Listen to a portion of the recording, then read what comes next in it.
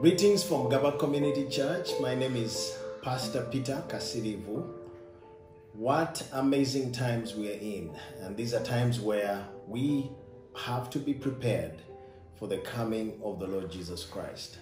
Last week, I began a, a lesson to teach us on what is the preparation that we have to have as we prepare for the second coming of the Lord Jesus Christ. Thank you so much for watching on Facebook and on YouTube. So now I'm doing lesson number two. I know that many of you have got so many questions, and I want to say this. I believe that these questions will be answered as we go along. Just as a recap, what we say is that the last days are already here with us. The last days began 2,000 years ago.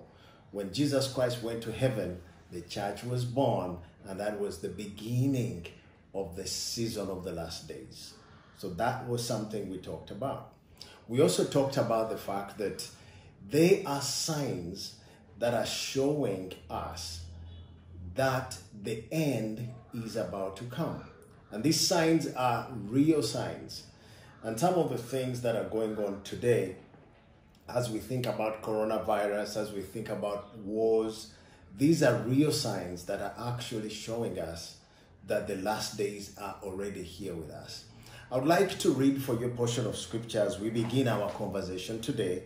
And this portion is found in the book of Matthew, chapter 24. Matthew, chapter 24, and verse 36.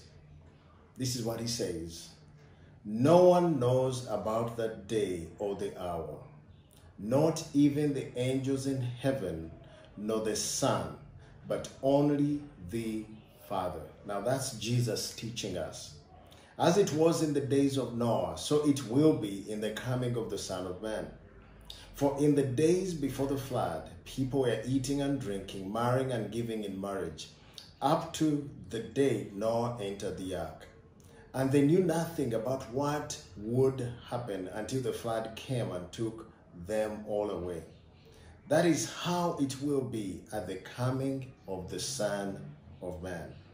Two will be in the field, one will be taken and the other will be left.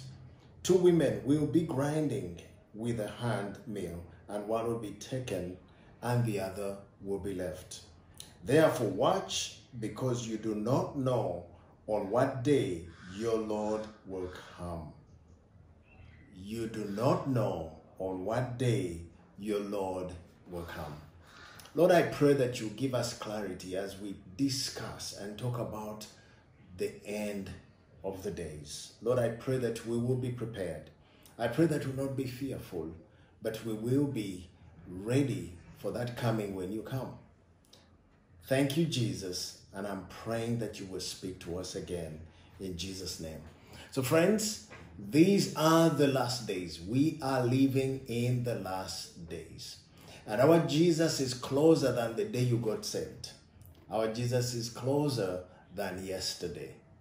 The signs of the end are actually here with us.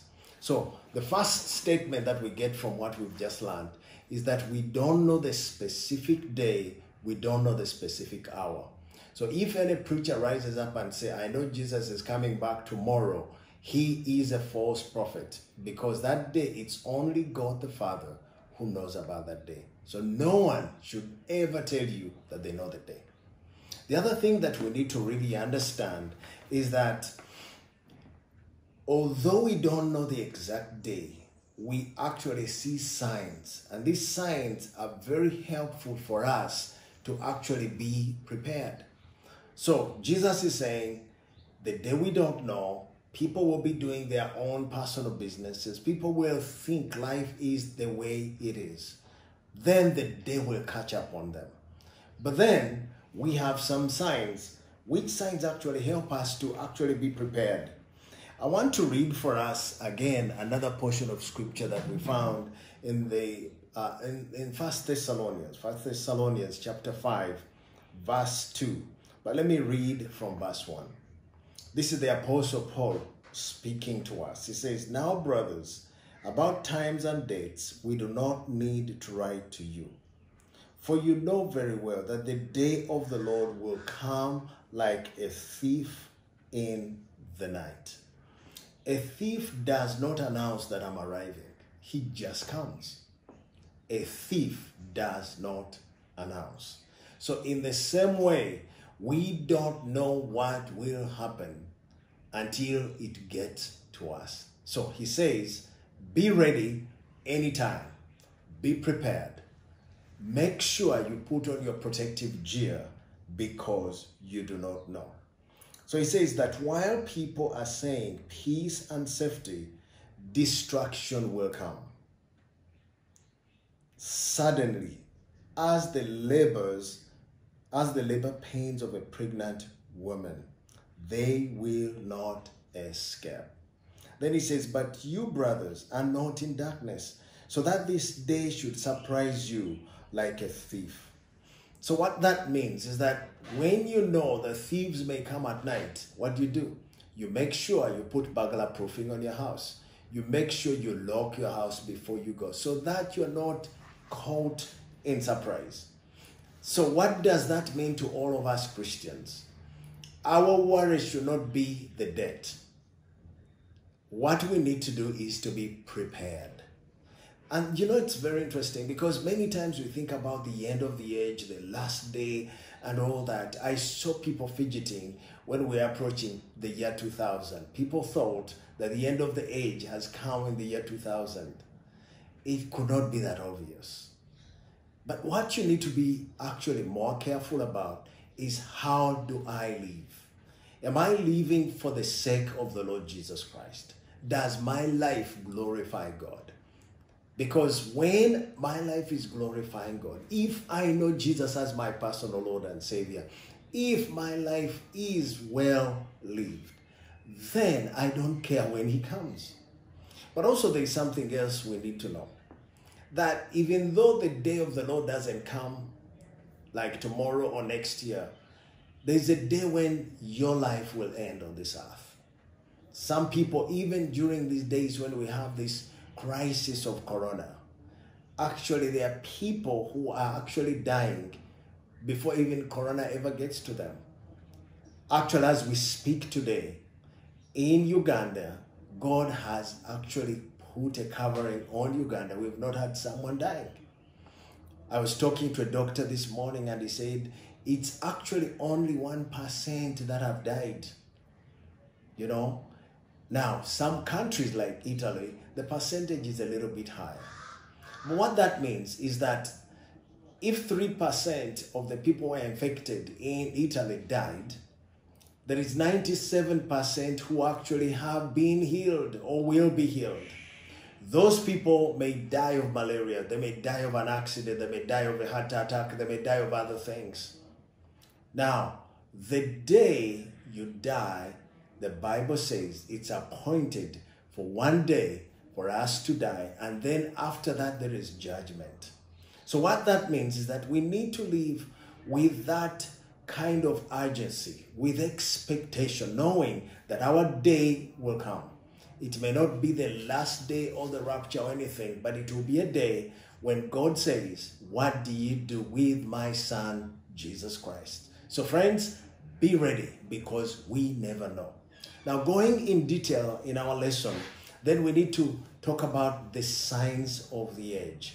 There are going to be signs of the age, signs that really talk to us or show us that Jesus is about to come.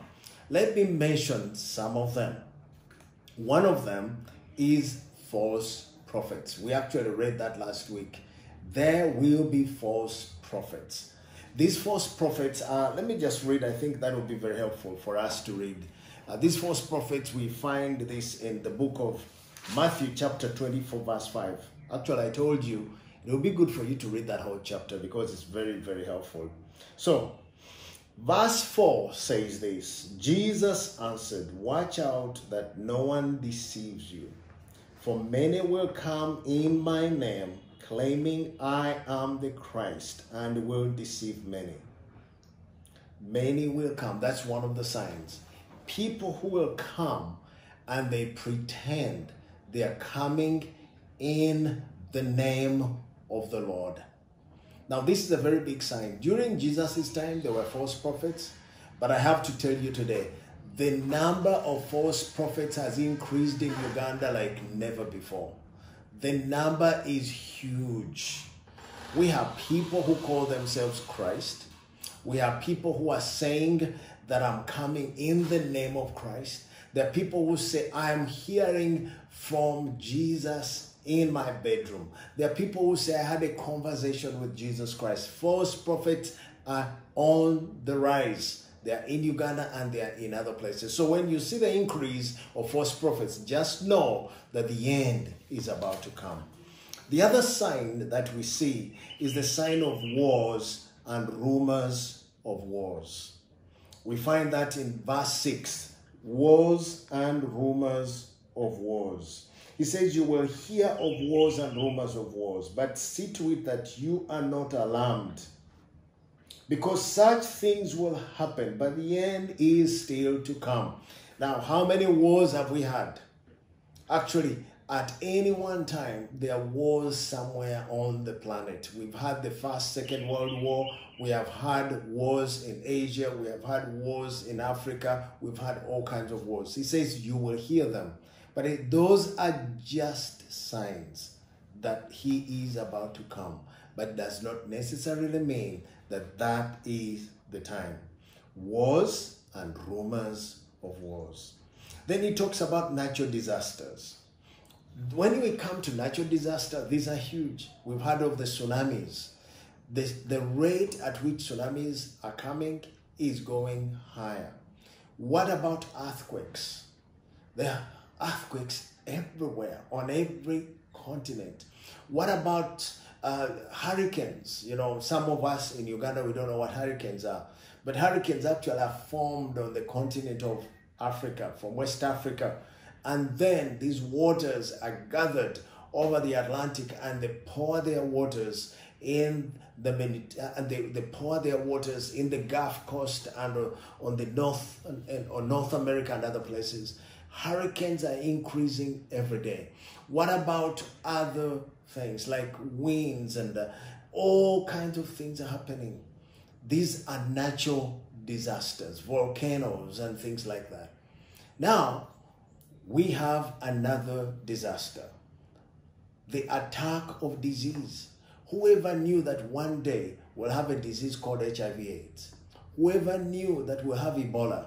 And now we have the coronavirus that is making us unsettled. So, natural disasters will come. What that means is that the day of the Lord is approaching. Then he talks about something else persecution. The persecution of believers. Now we read this, and actually we find this in the book of Matthew again, chapter 24, verse 8. All these are the beginning of birth pains. Then you'll be handed over to be persecuted and put to death, and you'll be hated by all nations because of me. Persecution is also increasing. It is actually more than it has ever been. Today, there are more people dying for their faith than at any one time in the history of the world. We find this more in India, we find this in the communist nations. We find this in the Arab world, among us, the Muslim nations. People are dying for their faith. Now, you may not be experiencing it in Uganda, but it's happening all over the world. So, all of this is saying, I am about to come. Then he says, there's going to be something else happening, another sign evangelization. You know, Jesus will not come until the whole world has heard what that means is that if we do our evangelism well, we are going to actually quicken the coming of the Lord. Praise the Lord. Now, before it was very difficult for the gospel to spread around the world. But let me tell you today, things have changed. Today, you can be anywhere on the planet within a matter of 24 hours if I started traveling today, I will reach Japan before 24 hours.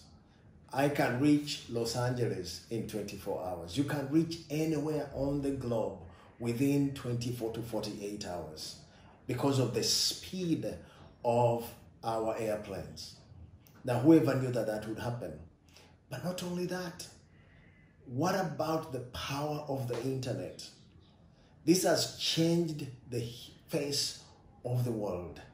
Today, I can sit here and I communicate to the globe just in the comfort of my office using the internet. We have instant communication. What that means is that we can actually move very fast. Recently, my friends uh, gave me a small gadget. It's a tiny little gadget which actually creates a hotspot. And this gadget, if, if I went with this little gadget in the market down here and I just uh, sent it out, it will send a Wi Fi and it will just start poking people who have a smartphone. And when they click on it, they will, oh, I have free, free, free Wi-Fi.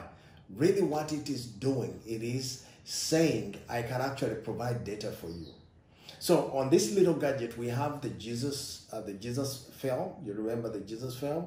We have the Bible, and we actually have some beautiful messages from the Bible. So when people click on it, people can actually download the Bible onto their phone.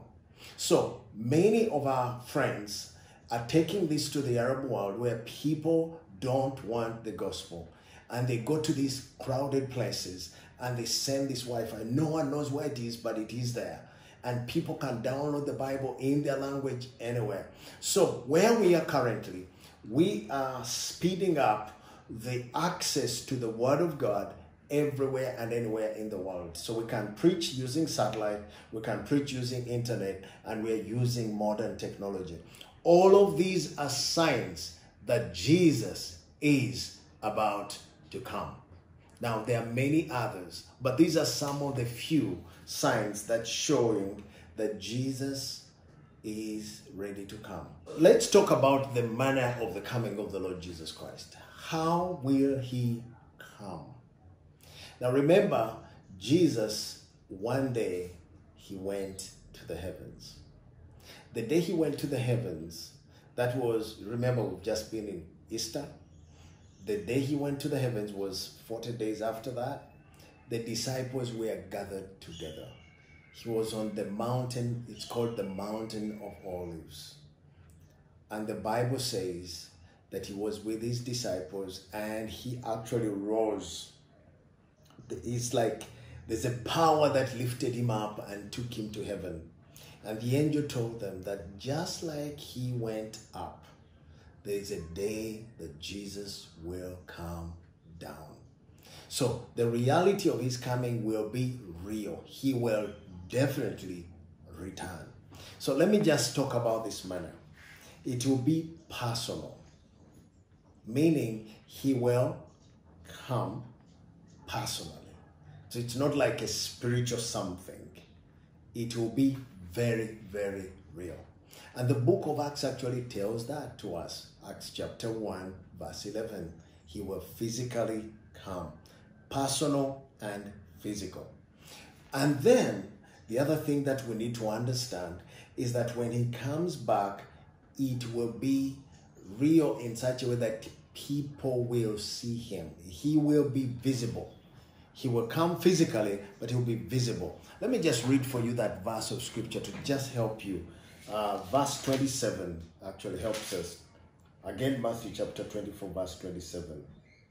For as lightning that comes from the east is visible, even in the west, so will be the coming of the Son of Man. He will be visible. He will be seen. He will be seen. You will see him when he comes.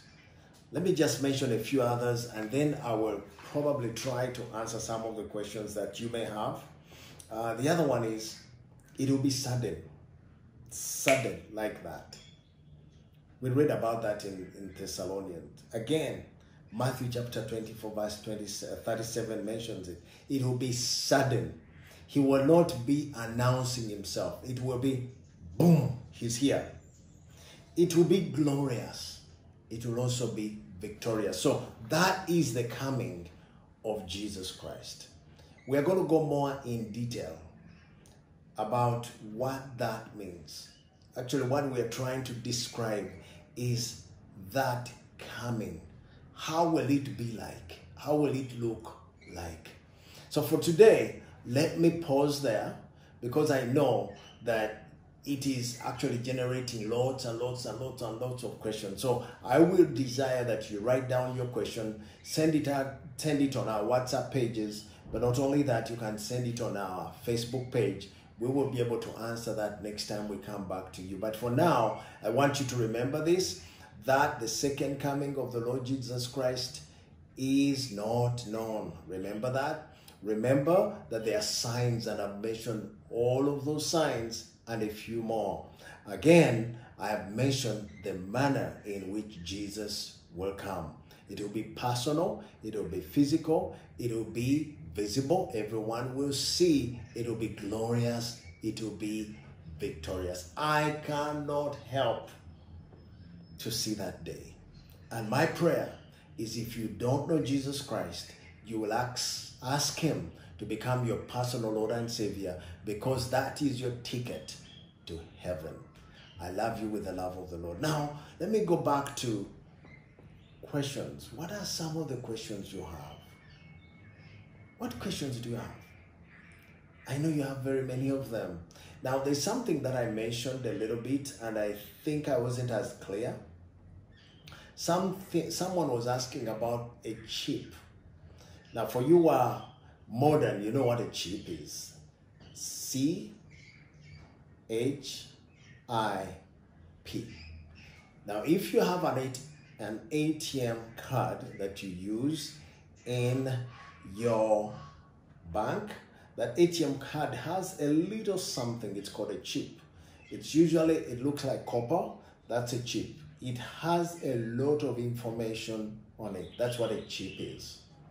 Now, you also have a phone. MTN has a chip. So when you go and get your phone card, that little thing is a chip. It has information that makes your phone communicate with the networks of MTN. Airtel has it and others. Now, in other countries, they actually have a chip that they actually are putting in their uh, their their passports. Now, where we are currently, we have all these kinds of chips everywhere. These days, when I'm buying my fuel, I have a fuel card. It also has a chip for Total. So many places we have chips, and these chips are computer systems that actually it's like something that is stored in there. It stores information. So someone was asking, what about what they're talking about putting chips inside our bodies? Now, friends, let me tell you this. That is beginning to happen today in some places. Now, but let me tell you this. The coming of the man of evil will be a time a time of scientific advancement and because it is going to be scientific advancement, anything will happen. Now we are talking about that tiny little chip. Probably there will be something else. Maybe it will be something as small as a dot. But one thing I know is that the advancement of science is actually increasing the ability for this to happen.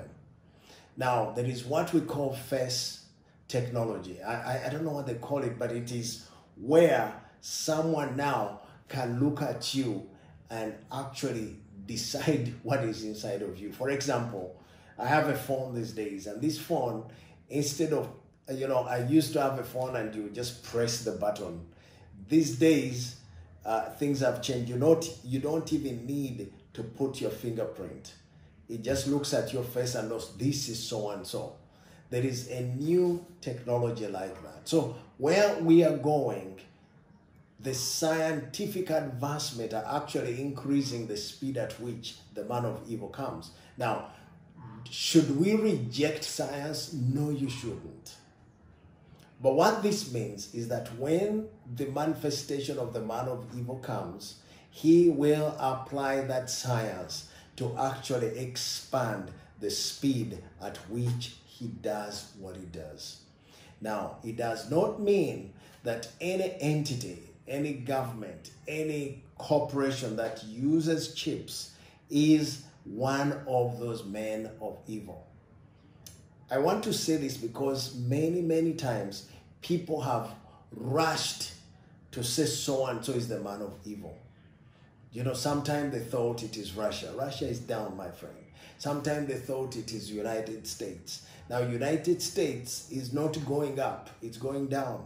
There's a new rise in other nations. You know, for example, someone say United Nations is that. Others say it's the European Union. European Union is being shaken.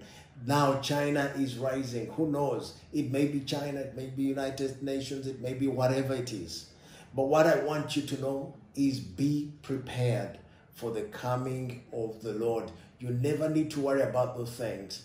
But when that man of evil comes, we will know. But I'm going to tell you something more next time. I'm going to talk about the rapture. It will definitely help you. Then someone asked, Who is the 666, triple six? Now, the Bible talks about that man of evil. One of his signs is the triple six.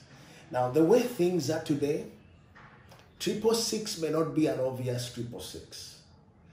These days, when you send a message using WhatsApp, it's encrypted meaning that there are numbers that are out there that are there, but you can't read them. There is technology where things are written, but we can't even read them. So, where I am going is this things are so complex that that triple six that it was written was written triple six because in those days that that's what could be understood but today it may be computer language which we can't even decipher decipher because it's encrypted. So, what I'm trying to say today is this things will not be as obvious as you think. But the key, the key thing is this do you know Jesus as your personal Lord and Savior? Do you know Him? If you know Jesus as your Lord and Savior, you don't need to worry because you are in safe hands. I pray that God will bless you today. I pray that His face will shine upon you. I pray that you'll be ready because the day we don't know. But also, we don't know when Jesus will come and call you home. But in the meantime, let us be faithful to the service of our Lord Jesus Christ. Greetings from Gaba Community Church. I cannot wait to worship with you again. God bless you. We love you.